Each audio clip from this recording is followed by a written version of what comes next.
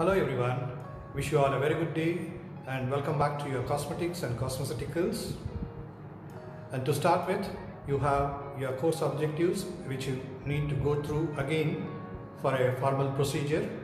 And uh, today we are going to start with our uh, third part of cosmetics biological aspects of our unit number two. And before starting, we need to go through the ground rules for the class and all the ground rules remain same once again. And uh, the additional thing what I would like to bring to your notice is in case if you are watching this video in YouTube channel, so please uh, like the video and uh, subscribe and try to click on the bell button. Right? So i hope uh, you all do this without forgetting. So well to start with the objectives and clear structure of the lecture for today. Today i am going to cover only one particular objective that is under part 3 of this unit that is structure of hair and hair growth cycle. We shall start uh, looking into the structure of hair. So I have to start explaining with a picture because this picture represents the anatomy of the hair along with the different parts along with the skin and different layers of the skin. So you can have a quick look at the various parts which are uh, importantly to be considered for this discussion. So you can start observing from the interior level so the deepermost region you can observe the veins which are connected to the hair or hair follicle. And then you can look at the next part that is sweat gland. And then you have the artery which is connecting to the hair follicle. And then you can have the hair shaft which is elevated outside the uh, skin and other side you have the magnified picture of the same which is uh, representing the illustration about the hair bulb which is at the bottom and into which the arteries and veins are connected. And then you see how the oil glands are connected with the hair follicle. And then uh, you can see the entire region of the hair follicle in the second, second side picture that is the one which is towards the right hand side. I have another picture which is illustrating the various parts in detail. Again you start observing from the bottom. At the bottom you have a part called hair papilla that is present inside the hair bulb and then the hair follicle and then you see how uh, sebaceous gland is connected and then you have arrector pili muscle and you can see the hair shaft is projecting outside the epidermis of the skin layer. Well, now let me uh, explain you about the structure of hair and uh, hair growth cycle. So, to understand the hair growth cycle, we need to basically understand the structure of hair. So normally what we used to do is we used to compare so many things while explaining their structure as hair-like structure. So those uh, material are those things which are thin and uh, lengthy in structure, longitudinal structure. So we always uh, uh compare them by saying hair-like structure. And now it's time for us to understand the structure of hair itself. Okay, the hair is a simple in structure but has important functions in social functioning. So as usual, uh, which is uh, playing a major role in maintaining your personality or your beauty or your physical appearance. And hair is made up of a tough protein and the name of the protein is called as keratin. A hair follicle anchors each hair into skin. hair follicle is the one which is anchoring each hair into the skin. Anchoring means which is holding, which is uh, providing room for a hair. And then the hair bulb forms the base of the hair follicle. In the hair bulb, living cells divide and grow to build the hair shaft. I hope you understand the different parts, right? We have just now seen in the pictures, so you have to recall them while reading this illustration. Well, the blood vessels nourish the cells in the hair bulb as what we have observed in the picture and deliver hormones that modify the hair growth and structure of the hair at different types of life. And now we shall uh, have a look at uh, hair growth. The hair grows at different rates in different people. The average rate is around half to one inch per month. Hair color is created by pigment cells producing melanin in the hair, fol hair follicle. Along with aging, these pigment cells die and the hair turns grey. Thereby, one may have a tendency to get grey hair. Now we shall uh, look into the hair growth cycle. The hair growth occurs in cycles con consisting of three major phases. The first phase is anagen phase, second phase is catagen phase, third phase is telogen phase. And some descriptions may give you uh, four different uh, phases like anagen, catagen, telogen and fourth one as exogen, right? And that exogen phase is nothing but again returning back to anagen phase, a phase which is returning back to anagen phase. So you can represent any of the descriptions either into three phases of hair growth cycle or into four different phases of hair growth cycle. So both uh, means the same, right? Okay, fine. Now the first one that is anagen phase which is also called as growth phase and this is the phase at which the hair grows to maximum. Most of the hair is governing at any given time. Each hair spent several years in this phase. Even this duration is given as different ranges of years in different descriptions. It all depends upon the person to person and various factors influencing the hair growth, right? And then the second phase is catagen phase and this phase is, is also called as transitional phase. And this exists over a few weeks and the hair grows slowly and the hair follicle shrinks. And then the third phase that is resting phase and this will be over for months and over months hair growth stops and the old hair detaches from the hair follicle. A new hair begins to grow at this phase, pushing the old hair out. That means shedding the old hair out, right? So these are the three different major phases of hair growth cycle, right? So we shall have a look at this diagram, right? How the cyclic procedure is followed. Initially, it will start with anagen phase, followed by the catagen phase, and then which is followed by telogen phase. And some other descriptions may give you fourth phase, that is exogen phase, and that is nothing but a phase returning to returning back to anagen phase. So, well, the three stages of hair growth in a cycle from actively beginning growth from the root to hair shedding is represented in this illustrative diagram.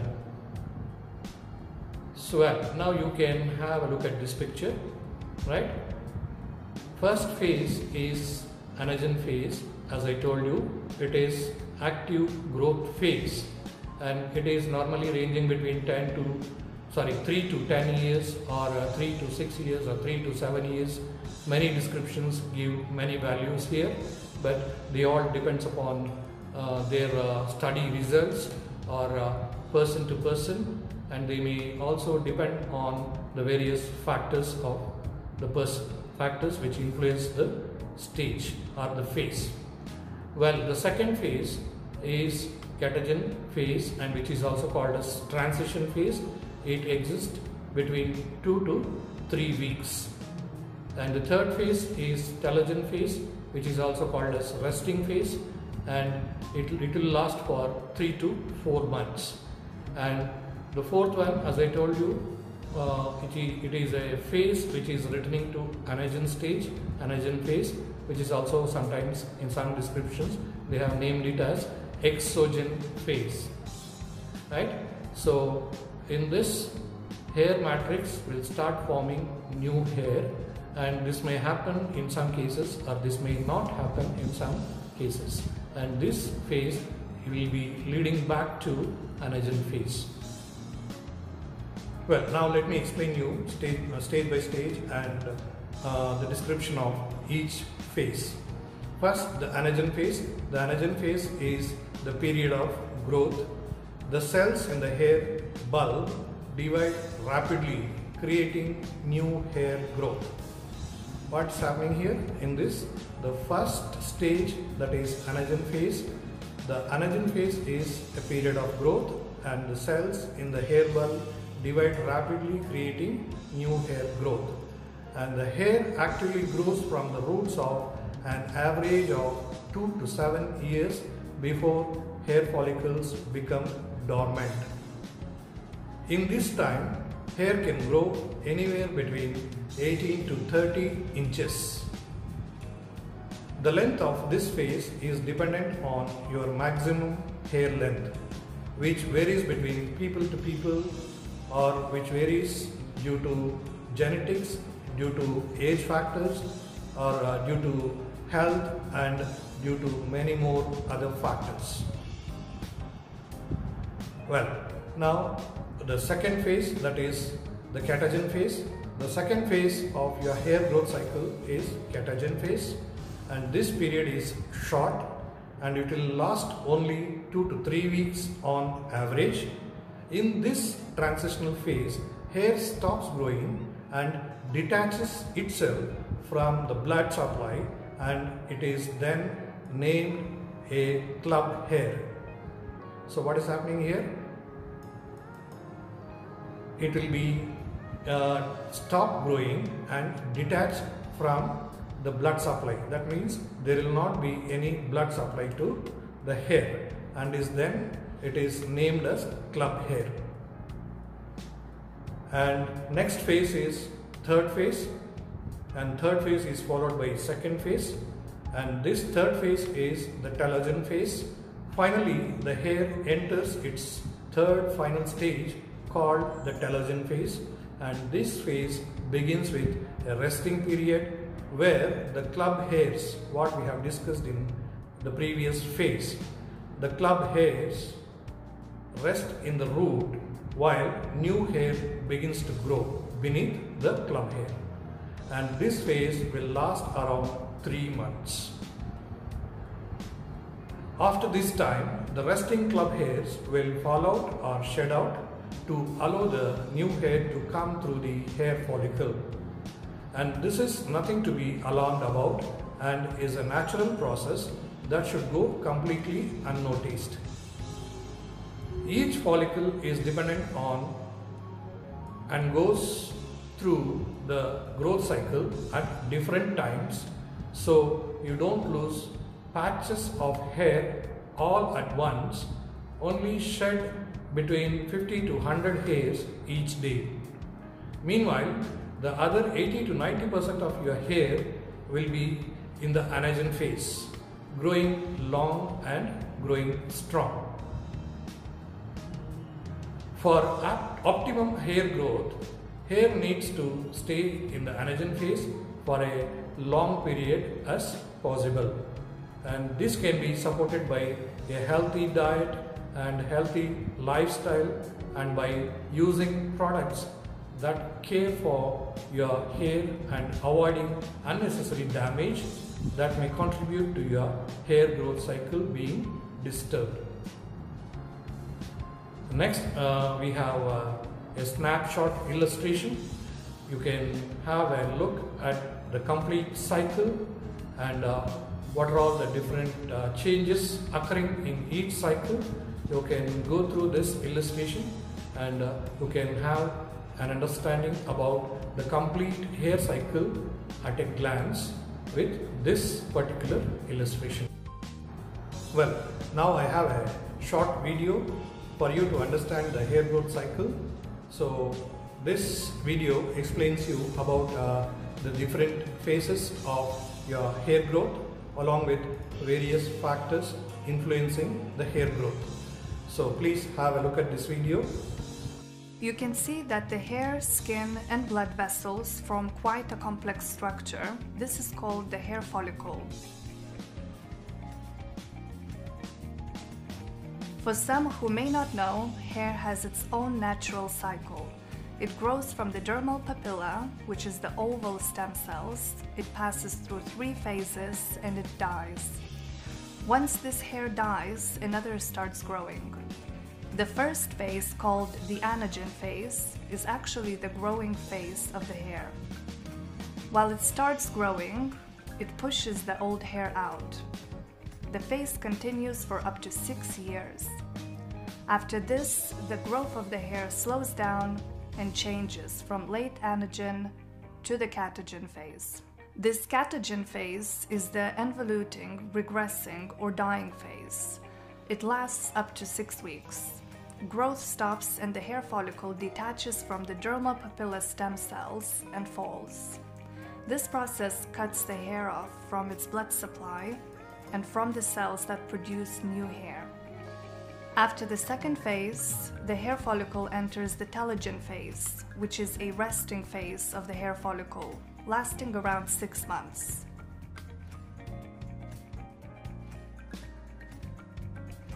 When the body is subjected to extreme stress, as much as 70% of hair can prematurely enter the telogen phase and begin to fall, causing a noticeable loss of hair. Or being no longer attached, it can appear dull. The hair cycle is controlled in every step by signals from the scalp and from the body. Some signals, the blue ones, tell the dermal papilla cells to start producing hair and grow. These signals are the growth factors, which last up to the anagen phase, telling the hair to grow. On the other hand, some other signals, the black ones, tell the hair to die and fall out. These signals tell the hair to enter the catagen phase and it dies. This process may continue in exactly the same way for some people during their entire life.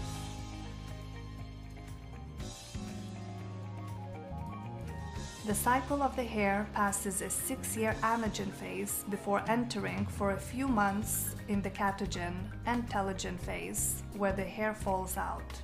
There is a possibility, though, for others, while going through life changes, the cycle shortens and the hair becomes thinner. Under these circumstances, the hair goes through all three phases as normal, but the anagen phase becomes shorter each time. As a result, the hair starts growing slower and not as long. This process is called miniaturization, where each cycle gets weaker, shorter, and less colored until the hair can barely be seen. Although the hair follicle is not dead, it can hardly produce any hair as time passes. The big question here is how do we maintain anagen? The only way to stop the process of miniaturization is to figure out how much time the hair spends in the anagen phase. If we succeed this, the hair will grow in a natural, healthy way by staying longer in this growing phase of the cycle.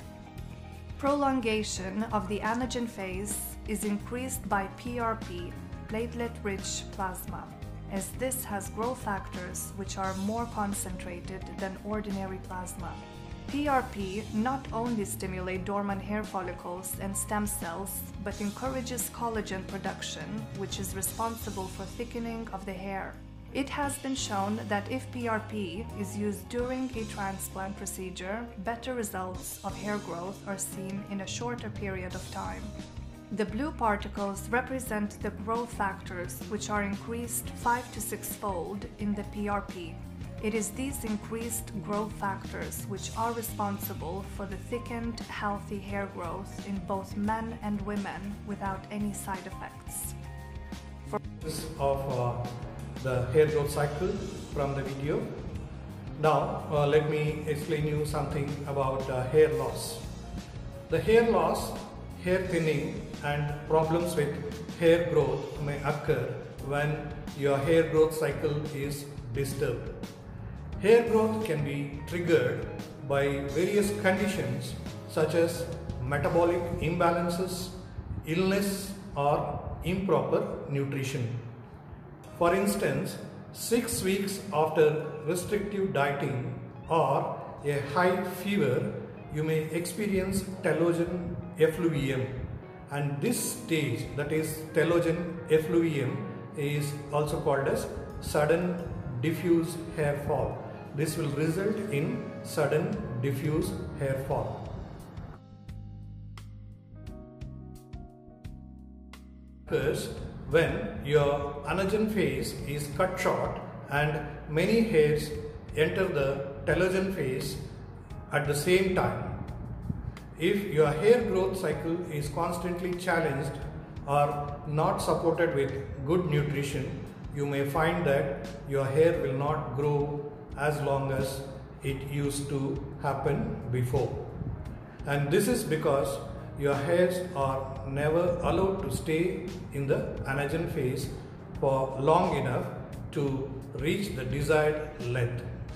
So with these illustrations as well as brief discussions we come to the end of uh, this video's objective right so now let me move on to the summary so let me remind you we have completed part 1 part 2 and part 3 with this video. In part 1 we have discussed skin, structure of skin, structure of skin relating problems like dry skin, acne, pigmentation, prickly heat, wrinkled skin and body odor under part 2 and under this part 3 we have completed structure of hair and hair growth cycle. The remaining objectives will be discussed in my further videos. So once again let me remind you if you are watching in YouTube, please do remember to like it and share and probably try to click on the bell button, right? And even subscribe so that you can come to know in case if I upload any new videos. Well, these are the few references for uh, this video's discussion. And now let me end with a high note with a quotation. The quotation is Life is short, you might as well live it with really great hair. And uh, this quotation is given by an unknown person, right? So, life is short, so better you try to have great hair and healthy hair and beautiful hair. So, with this, I conclude this video session. Thank you. Thank you very much. Have a good time.